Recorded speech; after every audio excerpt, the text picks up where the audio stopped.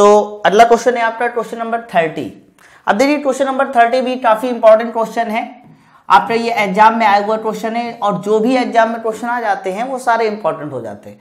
लेकिन question number thirty जो है थोड़ा सा घुमा के सवाल है। ध्यान से समझना पड़ेगा क्वेश्चन नंबर थर्टी को, तब आप इस क्वेश्चन को लगा पाओगे।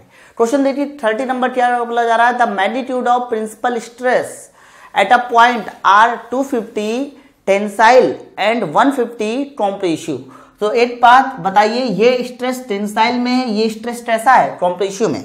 तो जरा दोनों स्ट्रेस लिख देते हैं। तो देखिए, पहला जो वाला जो स्ट्रेस दे रहा है F1 जो दे रहा है, वो 250 है, वो भी टेंसाइल में, इसलिए प्लस 250 और उसके बाद देखिए, जो F2 दे रहा है, वो माइनस एक लिखा जाएगा, क्योंकि कॉम्प्रेसिव में तो F2 बराबर हो गया माइनस एक ये दोनों स्ट्रेस के मान है। बट ये दोनों दोनों स्ट्रेस ध्यान रखना प्रिंसिपल स्ट्रेस कहा जा रहा है। और जो भी प्रिंसिपल स्ट्रेस होता है, वो हमेशा मोहर सर्कल के डायमीटर से रिप्रेजेंट किया जाएगा ये बात आप सबको पता है।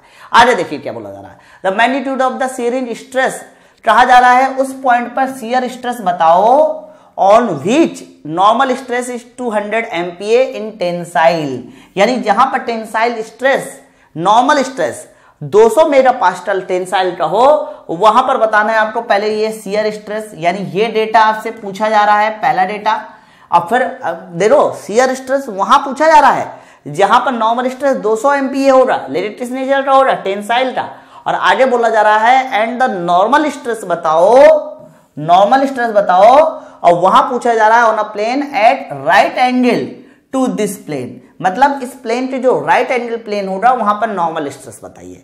तो ये दो डेटा आपसे पूछे जा रहा है। भैया, लेकिन जो पहले डेटा पूछा जाता है, हमेशा वही डेटा आपको पहले बताना होता है। तो सीआर स्ट्रेस पहले पूछा जा रहा था तो आपको सीआर स्ट्रेस ही पहले बताना है। तो चलो फिर इसको सॉल्व करते हैं।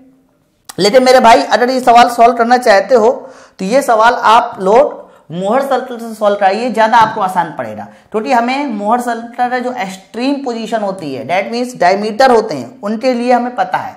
तो मोहर सर्कल खींच लेते हैं। तो मोहर सर्कल में देखिए, ये ढाई सौ है दो दो माइनस डेढ़ सौ है। तो इसका मतलब प्लस में भी जाना है माइनस में भी जाना है। तो आपको कुछ ऐसा डायग्राम खींचना पड़ेगा। तो ये हमारा प्लस दो सौ पचास, उसके बाद देखिए वो माइनस डेढ़ सौ है तो ये हमारा माइनस डेढ़ सौ तो ये माइनस डेढ़ सौ और ये प्लस दो सौ पचास आ गया। ये डायमीटर माने जाएँगे। अब इसके बाद बताओ, इसका हमें क्या देखो भाई, ये पॉइंट तो तुम्हारा ऑरिजिन रहेगा, है? लेकिन अभी हमें बताना पड़ेगा सर इसका सेंटर कहाँ होगा? सी तो आप ये बताओ, अगर ढाई सौ ये है, डेढ़ सौ ये है तो बीच का जो पॉइंट होगा, वो होगा ढाई सौ माइनस डेढ़ सौ। यानी सौ बटे दो तो जो सेंटर हो जाएगा वो पचास की दूरी पर हो जाएगा। तो आप ऐसा कह सकते हैं कि जो भी सेंटर रहेगा, सर वो पचास पे रहेगा। यकीन ना है। तो आप देख सकते हैं, यहाँ से 50 से ये 250 के बीच की दूरी हो जाएगी 200 और 150 से प्लस 50 की दूरी भी माइनस डेढ़ से प्लस 50 की दूरी भी 200 हो जाएगी। अब मोहर सर्कल ड्रॉ कर देते हैं तो ये आपका मोहर सर्कल कुछ ऐसे बनेगा, ठीक है? और कह सकते हो मोहर सर्कल ऐसे बन गया। अब पहला पार्ट देखते इन्होंने क्या बोला था। इन्होंने बोला था कि वहाँ पर सीयर स्ट्रेस बताओ, जहाँ पर नॉर्मल स्ट्रेस 200 मेगा पास्टल होगा टेंसाइल का। तो बात बताओ 200 मेगा पास्टल जो नॉर्मल स्ट्रेस टेंसाइल का रहेगा, वो 250 के आगे तो नहीं रहेगा ना? यहाँ नहीं रहेगा। तो 200 मेगा पास्टल जहाँ पर टेंसाइल स्ट्रेस रहेगा, वहाँ पर आपको बताना है सीयर स्ट्रेस मतलब वहाँ पर ये वर्टिकल लाइन बतानी है, कितनी होनी चाहिए। आप देख लीजिए, यही वो प्लेन होगा, जहाँ पर नॉर्मल स्ट्रेस तो 200 रहेगा। बट सीयर स्ट्रेस कितना रहेगा, वो आपसे पूछा जा रहा था। डेट मीन्स पहले वाले पार्ट में आपसे ये क्यों पूछा जा रहा है कि ये सीयर स्ट्रेस कितना होगा, जहाँ पर नॉर्मल स्ट्रेस 200 है। निकल आएगा, क्या दिक्कत है सर आप तुरंत एक काम कीजिए, ये जो सेंटर है, इस सेंटर से फटाफट आप इसको मिला दीजिए। तो मेरे भाई, जो सेंटर से इस लाइन को मिलाया जाएगा, ये ही लाइन ही तो मोहर सर्कल की क्या बन जाएगी? रेडियस बन जाएगी। तो एक बात बताओ, ये 250 है ऑरिजिन से, और ये 150 है। तो पूरा माइनस डेढ़ सौ से ढाई सौ तक की जो दूरी होगी, वो हमारी हो जाएगी चार सौ। माइनस डेढ़ सौ से ढाई सौ तक की दूरी चार सौ। तो बताइए जरा चार सौ का जो आधा होगा, चार सौ का जो आधा होगा, वही तो रेडियस बन जाएगा। तो आप कह सकते हो कि जो रेडियस हो जाएगी, वो आपकी 200 हो गई। तो सर, ये रेडियस 200 हो गई। सर, ये पॉइंट 200 का है, ये पॉइंट 50 का है तो ये दूरी कितनी बचेगी? ये दूरी। केवल इतनी दूरी। तो आप कह सकते हैं कि सर, ये जो दूरी बचेगी, ये पचास या ढाई सौ है। तो कन्फर्म ये जो दूरी बचेगी, ये दूरी बचेगी सर आपकी डेढ़ सौ। बचेगी। अब आपको ट्यू चाहिए ना तो ट्यू हो जाएगा सर 200 टू स्क्वायर माइनस डेढ़ सौ टू स्क्वायर तो बस फिर ट्यू का मान पता चल गया कि सर, जो ट्यू होगा, वो होगा अंडर रूट ऊपर 200 टू स्क्वायर माइनस डेढ़ सौ टू स्क्वायर तो 200 टू स्क्वायर में से डेढ़ सौ स्क्वायर घटा दीजिए, आपका टेट आंसर प्राप्त हो जाएगा। सवाल ये है कि इसको सर सॉल्व कैसे कराया जाए? तो सॉल्व कराने का बड़ा आसान तरीका है। देखिए, यहाँ एट ज़ीरो है, यहाँ भी एट ज़ीरो है तो उसका स्क्वायर भी तो होगा। तो एट ज़ीरो का स्क्वायर कराएँगे तो दो ज़ीरो बनेंगे बट अंडर रूट लेंगे तो एट ज़ीरो हमारा कह सकते हो बाहर आ जाएगा, यानी दस बाहर आ जाएगा। तो अंदर क्या बचेगा? अंदर बचेगा सर बीस का स्क्वायर है बीस का स्क्वायर और यहाँ बचेगा पंद्रह का स्क्वायर तो ये बताइए, बीस जो होता है उसका स्क्वायर होता है चार सौ। और पंद्रह का स्क्वायर होता है दो सौ पच्चीस। तो मेरे भाई 400 में से 225 को घटाओगे तो ये जो मान आएगा, ये 875 आ जाएगा। आ जाएगा? अब एक बात तो एक सौ पचहत्तर आ गया। अब एक सौ पचहत्तर, ये किससे कैंसिल आउट हो रहा?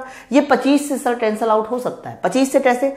25 छठा होता है डेढ़ सौ और 25 सत्ते होता है सौ पचहत्तर। लेकिन जो 25 होगा, उसका अंडर रूड भी तो लिया जा सकता है। तो 25 का अंडर रूड हो जाएगा पाँच। तो पाँच जैसे ही आप लोग बाहर टड़ोगे तो पच्चीस का अंडर रूड पाँच पाँच बाहर टड़ोगे तो दस जोड़े पाँच कितना हो जाएगा? पचास। पचास। बट हमारा अंदर पच्चीस सत्ते डेढ़ एक सौ पचहत्तर ना तो अंदर हमारा अंडर रूट सेवन तो बचा ही रहेगा। तो आप कह सकते हो कि जिस पॉइंट पे नॉर्मल स्ट्रेस 200 था, वहाँ पर आपका जो मान निकाला आपने सीयर स्ट्रेस था वो मान निकल के आ गया पचास रूट सेवन ये ढाई सौ डेढ़ सौ वो वहाँ से निकाला हमने। लेकिन जहाँ पर नॉर्मल स्ट्रेस 200 था, वहाँ पर सीयर स्ट्रेस निकल के आ गया 50 रूट सेवन तो 50 रूट सेवन किसमें है सर ये तो हमारा ए में भी है सी में भी है, लेकिन बी में नहीं है। डी में नहीं, इसका मतलब बी और डी गलत हो गए तो जो ऑप्शन हमारा करेक्ट हो सकता है, वो ए भी सही हो सकता है और सी भी सही हो सकता है। लेकिन इन्होंने एक और बात पूछी है। इन्होंने फिर आगे ये बात पूछी है कि नॉर्मल स्ट्रेस बताइए।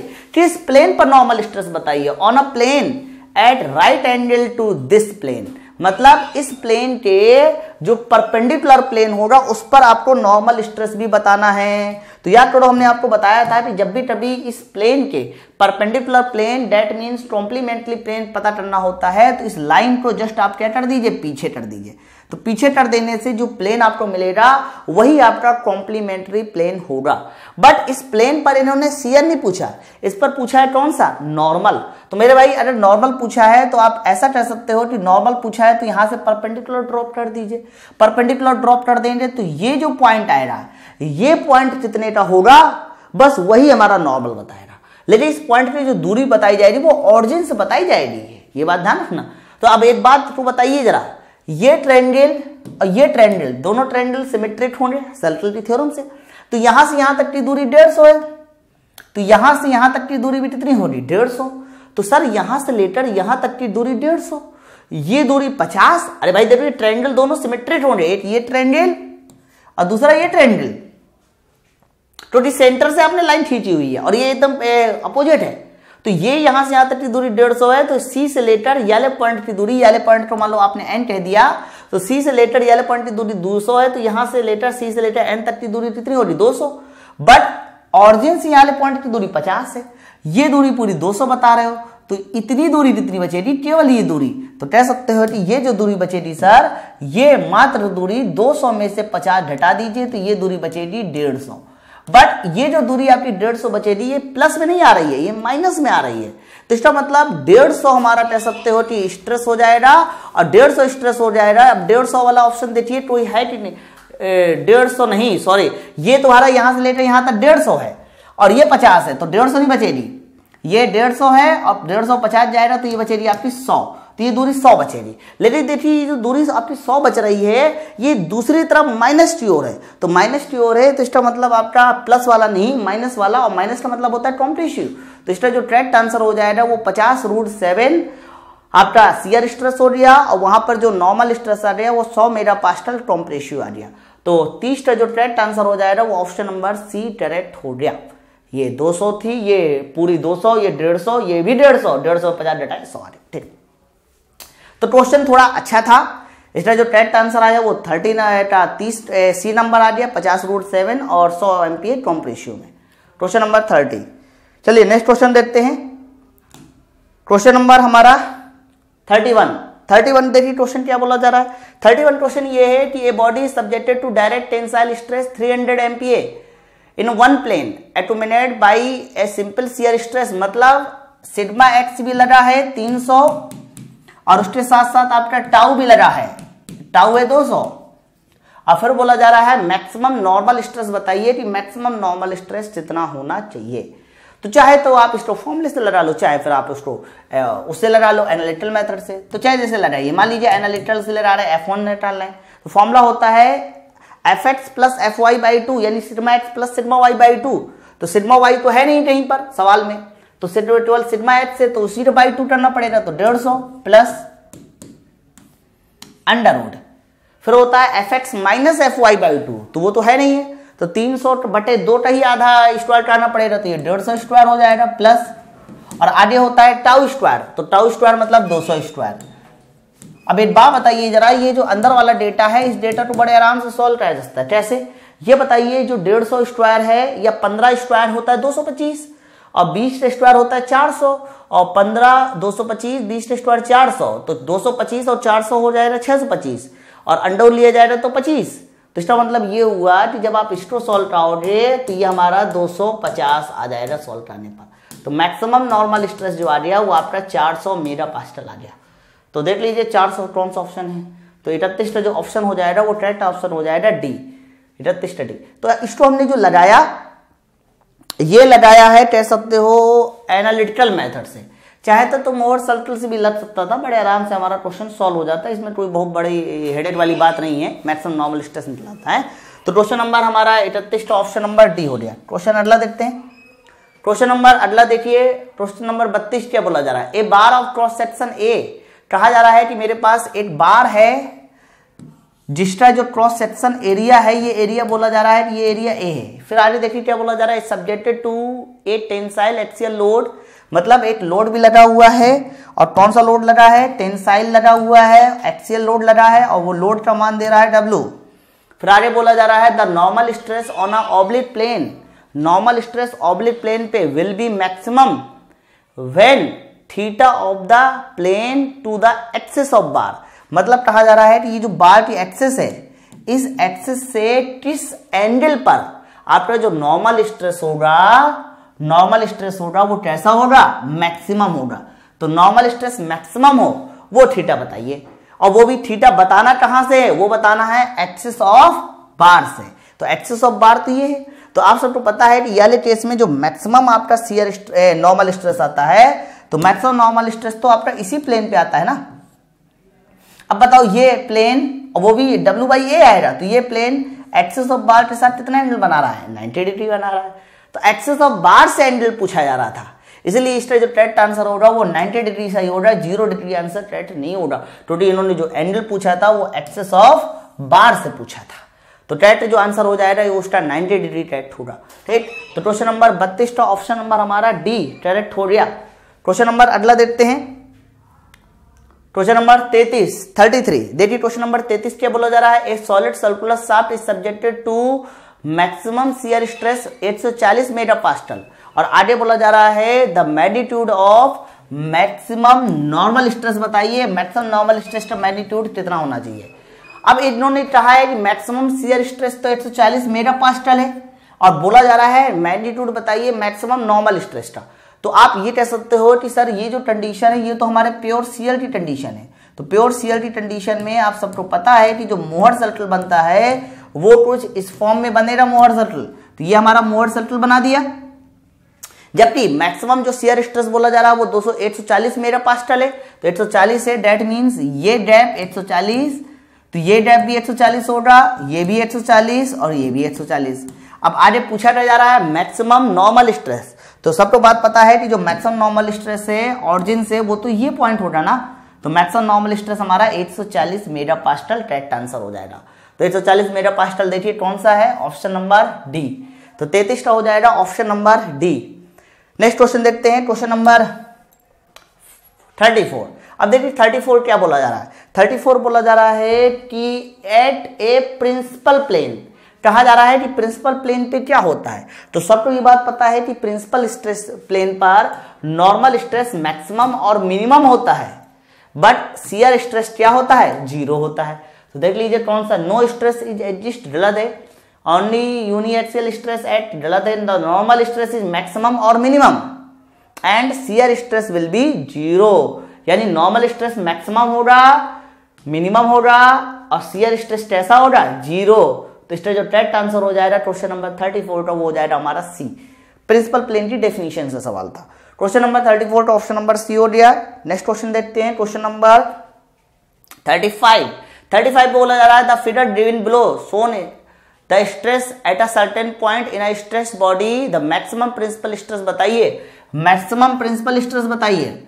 फॉर द सिस्टम अब ये बताओ, ये जो डायग्राम दे रहा है, ये डायग्राम में साफ़ साफ़ पता चल रहा है कि टेंसाइल स्ट्रेस सिग्मा भी लगा है एफ़ एक्स भी लगा है एफ़ वाई भी लगा है, और साथ साथ ये सियर स्ट्रेस भी काम कर रहा है। अच्छा सियर स्ट्रेस भी ध्यान रखना है वो सिग्मा ही है। तो सिग्मा हमारा सियर स्ट्रेस भी है। तो आप लोग चाहो तो इसको बड़े आराम से मोहर सर्कल बना के सॉल्व किया जाता है। देखो एफ़ एक्स भी सिग्मा है एफ़ वाई भी सिग्मा है। तो मोहर सर्कल बना के इसको सॉल्व कर लीजिए, ज़्यादा आसान पड़ेगा आपके लिए। तो ये रहा ऑरिजिन तो बताइए नॉर्मल स्ट्रेस हमारा एफ़ एक्स रहा, यानी सिग्मा रहा एफ़ एक्स सिग्मा है। और एफ़ वाई भी तो सिग्मा है तो एफ़ वाई भी सिग्मा है तो सिग्मा का भी यही पॉइंट मिलेगा। और सीआर स्ट्रेस भी सिग्मा है तो इसका मतलब यहाँ से सिग्मा ऊपर भी जाना है और सिग्मा नीचे भी आना है। अब ये जो बन जाएगा ये सेंटर बन जाएगा ये जे बन जाएगा ये के बन जाएगा तो मोहर सर्कल ड्रॉ कर दीजिए तो इसका मोहर सर्कल ड्रॉ किया जाएगा तो ये मोहर सर्कल कन्फर्म इस पॉइंट से होकर गुजरेगा क्यों? क्योंकि ये दूरी भी तो सिग्मा है रेडियस के बराबर है। तो इन्होंने पूछा क्या था? इन्होंने पूछा था मैक्सिमम प्रिंसिपल स्ट्रेस तो मेरे भाई मैक्सिमम प्रिंसिपल स्ट्रेस तो यहाँ मिलेगा। तो एक बात बताओ ऑरिजिन से ये दूरी सिग्मा है तो ये दूरी भी सिग्मा होगी टूटी रेडियस है तो जो मैक्सिमम प्रिंसिपल स्ट्रेस मिलेगा वो आपका टू सिग्मा होगा मिनिमम प्रिंसिपल स्ट्रेस होगा वो ज़ीरो होगा। तो पूछा जा रहा था मैक्सिमम प्रिंसिपल स्ट्रेस तो जो ट्रेट आंसर हो जाएगा पैंतीस का वो ऑप्शन नंबर सी ट्रेट हो जाएगा टू सिग्मा तो मैक्सिमम प्रिंसिपल स्ट्रेस आ गया हमारा टू सिग्मा मोअर सर्कल से सॉल्व कराया। चाहते तो आप बड़े आराम से फॉर्मुले से भी सॉल्व करा सकते थे। फॉर्मुला आप सबको पता है कि मैक्सिमम प्रिंसिपल स्ट्रेस एफ़ का फॉर्मुला होता है F X plus F Y by two plus under root F X minus F Y by two का स्क्वायर और प्लस हमारा क्यू स्क्वायर तो आप लोग इस वाले फॉर्मूले की मदद से भी सवाल को सॉल्व कर सकते थे।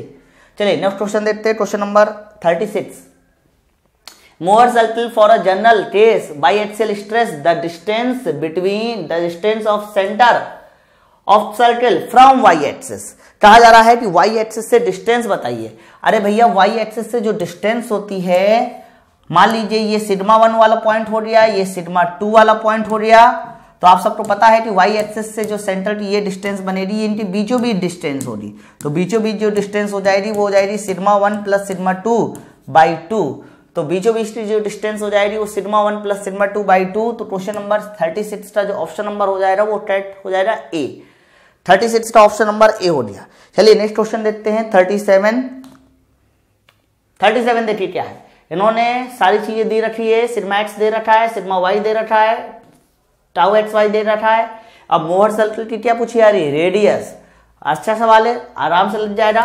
तो रेडियस मोहर सर्कल की होती है under root F X minus F Y by two का स्क्वायर और प्लस क्यू स्क्वायर ये मोहर सर्कल की रेडियस होती है। तो मेरे भाई बताओ एफ़ एक्स आपका 40 है एफ़ वाई आपका 100 है।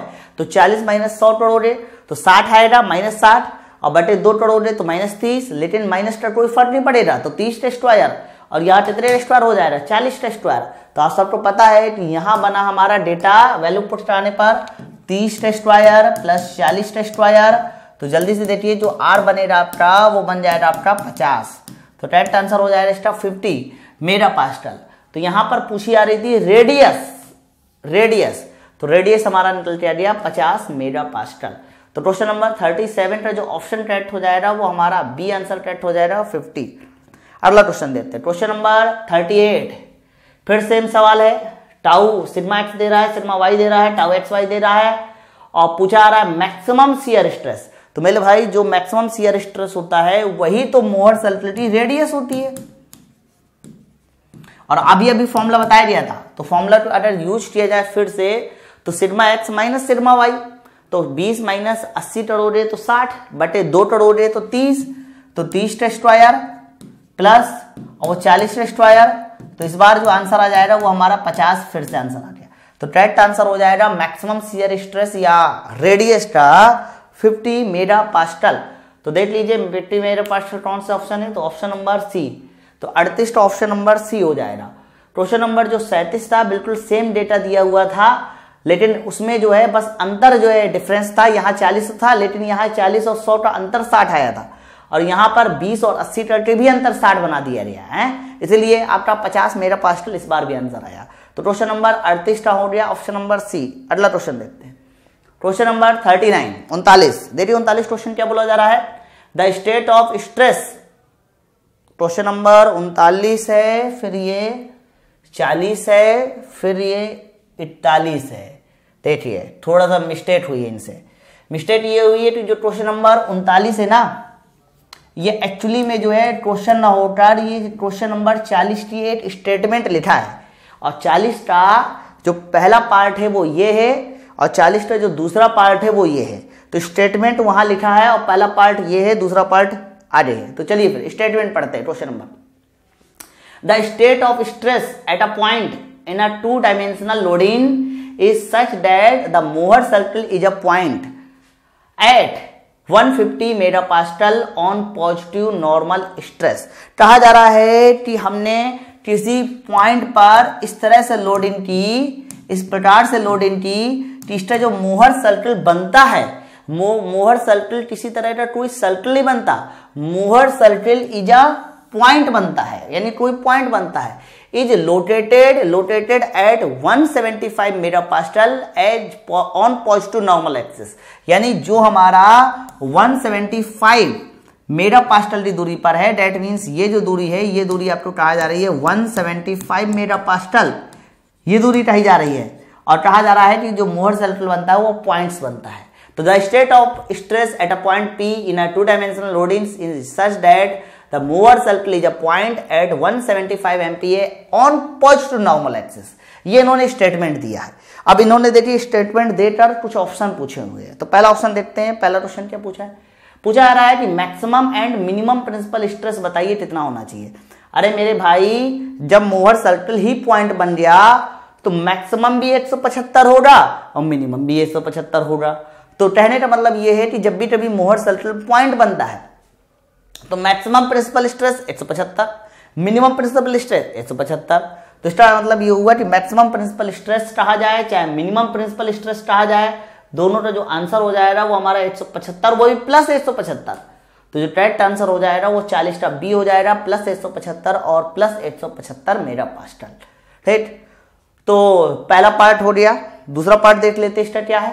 इन्होंने बोला है the direction of maximum and minimum principal stress at a point from P Mohr are stress at a point P from Mohr कहा जा रहा है, कि आपका जो डायरेक्शन होगी मैक्सिमम और मिनिमम प्रिंसिपल स्ट्रेस की वो डायरेक्शन बताइए, हमारी कितनी डायरेक्शन में होगा।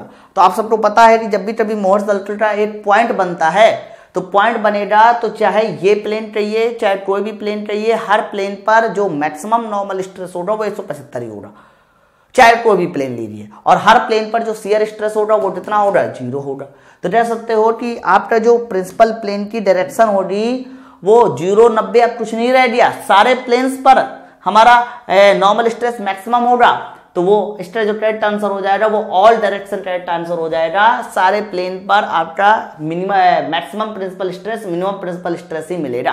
तो इसका करेक्ट आंसर हो जाएगा ऑल डायरेक्शन तो क्वेश्चन नंबर चालीस, आपका डेट में आया हुआ क्वेश्चन है। इसके दो पार्ट थे, चालीस का पहला पार्ट दूसरा पार्ट सॉल्व हो गया इसका आंसर चलिए क्वेश्चन नंबर अगला देखते हैं। Question number forty one forty one question में थोड़ा सा फिडर मिस है। हम आपको फिडर यहाँ बना के दिखा दे ताकि सवाल सही हो जाए। फिडर कुछ इस तरह बना था, क्वेश्चन नंबर चालीस का। कि ये हमारा हंड्रेड मेरा पास्टर ऐसे दिखाया गया था। और ये हमारा कह सकते हो कि ट्वेंटी मेगा पास्टल ऐसे दिखाई दिया था। तो ये फिडर आपको मिल जाएगा। अब देखिए क्वेश्चन क्या बोला जा रहा है। The feeder shows the state of stress at a point certain point in stress body the magnitude of normal stress in x 100 in y 20 megapascal और ये डायग्राम बना हुआ है। यानी 100 को टेंसाइल लिया गया है और 20 को कॉम्प्रेसिव डायग्राम बना हुआ है। हमने नहीं लिया। ध्यान रखने इस बात को। पूछा रहा है, बताइए मोहर सर्कल रेडियस बताइए क्या होगी। तो चलो फिर हम लोग इसको मोहर सर्कल से सॉल्व करा लेते हैं। तो मोहर सर्कल सॉल्व कराया जाए तो बताइए जरा, ये हमारा हंड्रेड वाला पॉइंट आया। ट्वेंटी प्लस है। और वो हमारा ट्वेंटी वाला पॉइंट ये माइनस ट्वेंटी वाला पॉइंट तो ये आप इसको ऐसे मिला दोगे तो ये मोहर सर्कल बन गया। सवाल ये है कि पहले बताओ इसका सर डायमीटर कितना होगा? तो डायमीटर कहा जाए तो माइनस बीस से पूरा सौ। तो माइनस बीस से पूरा सौ, आप कह सकते हो कि जो डायमीटर निकल के आएगा वो एक सौ बीस निकल के आएगा। अगर डायमीटर एक सौ बीस निकल के आएगा तो रेडियस कितनी निकल के आएगी? साठ। तो मोर सर्कल की जो रेडियस बनेगी, वो 60 मेगा पास्टल बन जाएगी। तो इसका जो करेक्ट आंसर हो जाएगा वो ऑप्शन नंबर सी हो जाएगा, इकतालीस ऑप्शन नंबर सी ठीक तो ये हमारा मोर रेडियस आ रही sixty megapascal next question देखते हैं। क्वेश्चन नंबर बयालीस forty two forty two question ये बोला जा रहा है a two dimensional fluid elements rotate like a rigid body at a point within the element pressure is one unit कहा जा रहा है कि एक टू डायमेंशनल फ्लूड एलिमेंट है। तो फ्लूड एलिमेंट है तो डेट मीन्स फ्लूड के अंदर होगा। Rotate like a rigid body at a point within the element of pressure one unit यानी इस पे जो प्रेशर काम कर रहा है प्रेशर अब एक बात बताइए, जो भी फ्लूड होता है, उस पर जो प्रेशर होता है, वो वन यूनिट कहा जा रहा है? तो प्रेशर तो चारों तरफ़ से समान पड़ेगा। फिर आगे बोला जा रहा है the radius of Mohr circle बताइए, कितनी होनी चाहिए? तो एक बात बताओ, अगर चारों दिशाओं से समान दाब पड़ेगा किसी भी टू डायमेंशनल बॉडी के लिए तो आप ऐसा कह सकते हैं कि इस तरह के केस में जो मोहर सर्कल आया था, वो एक पॉइंट आएगा जब मोहर सर्कल अच्छा निगेटिव में नहीं पॉजिटिव में नहीं आएगा ये मोहर सर्कल जो पॉइंट आएगा क्योंकि ये कॉम्प्रेसिव स्ट्रेस लगाता है हमेशा फ्लूड तो मोहर सर्कल जो बनेगा, वो पॉइंट बनेगा। और जब आपका मोहर सर्कल पॉइंट बन जाएगा तो उसकी जो रेडियस आ जाएगी, वो हमारी ज़ीरो हो जाएगी। तो इसका जो ऑप्शन ट्रैक्ट हो जाएगा आपका, वो बी आंसर ट्रैक्ट हो जाएगा ज़ीरो यूनिट तो ये एक प्रकार से वो टेस्ट होता है, जिसपे किसी बॉडी पे हाइड्रोस्टेटिक फोर्स काम करता है। तो हाइड्रोस्टेटिक फोर्स का हमेशा जो मोहर सर्कल बनेगा, वो हमारा एट पॉइंट बनेगा ऑन नेगेटिव एक्सेस तो नेगेटिव एक्सेस में पॉइंट बने जाएगा। तो बयालीस का जो ऑप्शन हो जाएगा, वो हमारा बी ऑप्शन करेक्ट हो जाएगा। Question number fifteen forty three अब फोर्टी थ्री देखिए क्या बोला जा रहा है? The state of plane stress आगे बोला जा रहा है कि सिग्मा एक्स इतना है सर सिग्मा वाई इतना है सर क्या हो रहा है?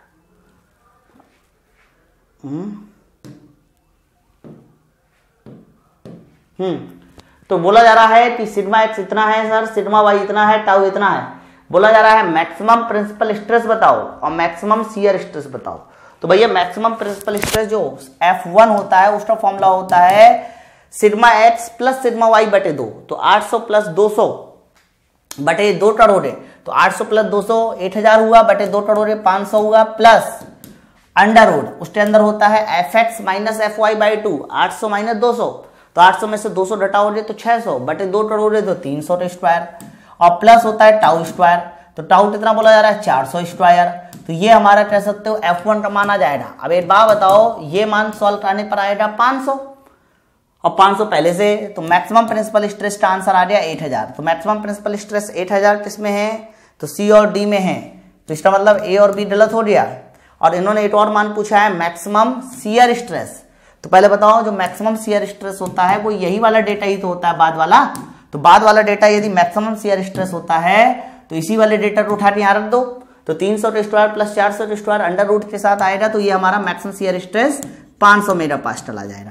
तो मैक्सिमम सीयर स्ट्रेस 500 सौ मेगा पास्टल इसमें है। तो इसका मतलब ये डी भी गलत हो गया। तो जो ट्रैक्ट आंसर हो जाएगा, वो ऑप्शन नंबर सी ट्रैक्ट हो जाएगा। तो यहाँ पर हमने क्वेश्चन नंबर 43 टू भी सॉल्व कर लिया, जिसमें हमें सिग्मा एक्स सिग्मा वाई दिया जा रहा था। और बड़े आराम से हमने उसका जो है मैक्सिमम नॉर्मल स्ट्रेस और मैक्सिमम सीयर स्ट्रेस को ज्ञात कर लिया। तो देखिए, ये हमारे पास क्वेश्चन नंबर 44 जो कि इस सेशन का लास्ट क्वेश्चन है, देखते हैं ये क्वेश्चन क्या है। हालाँकि ये क्वेश्चन हमारा एट जो है लिस्ट बेस है। तो क्वेश्चन नंबर जो 44 है, उसकी देखिए लिस्ट वन में बने हुए सारे के सारे डायग्राम तो लिस्ट वन में बने हुए हैं डायग्राम लेकिन जो हमारी लिस्ट सेकेंड है, उस लिस्ट में देखिए सारे के सारे नाम लिखे हुए हैं।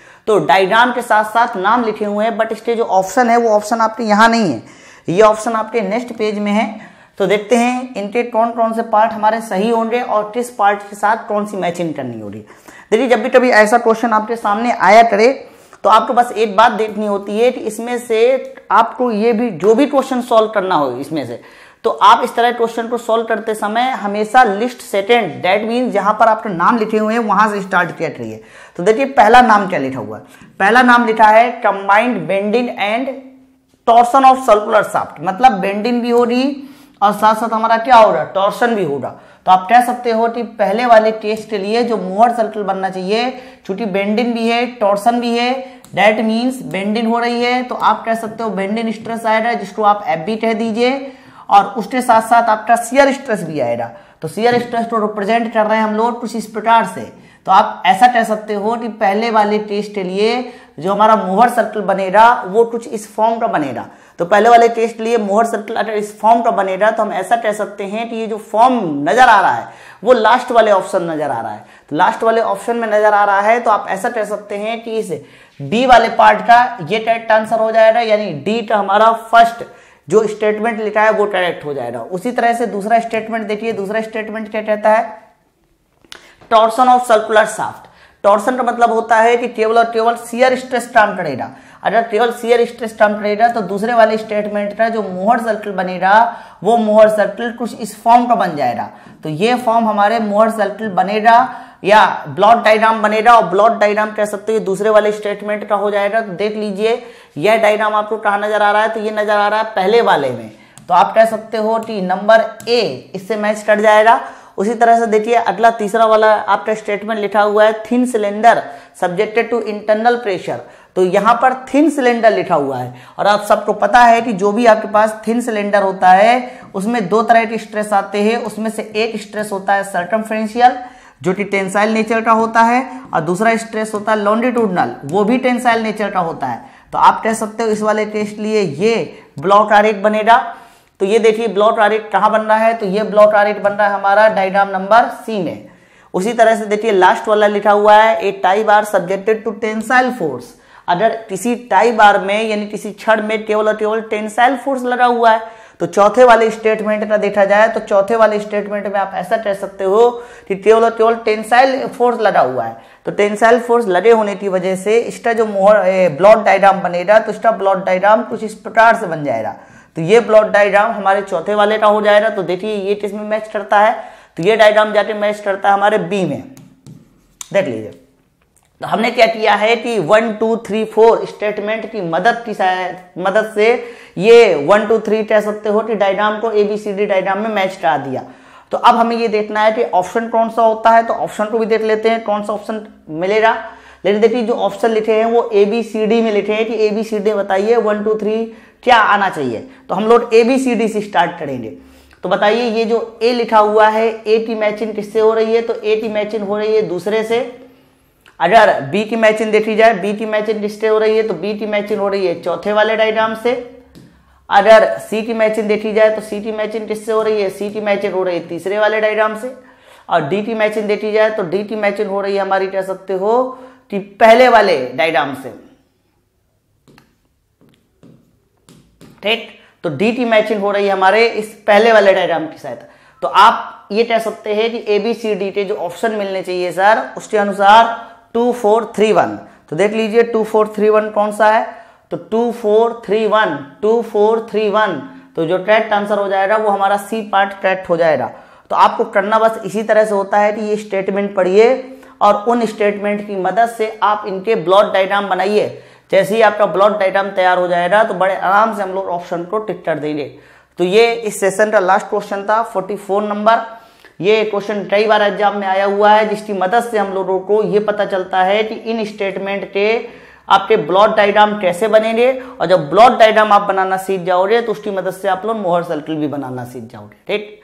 तो अब हम लोग का जो नया टॉपिक होगा, वो स्टार्ट होगा बीम या फिर एसएफडी और बीएमडी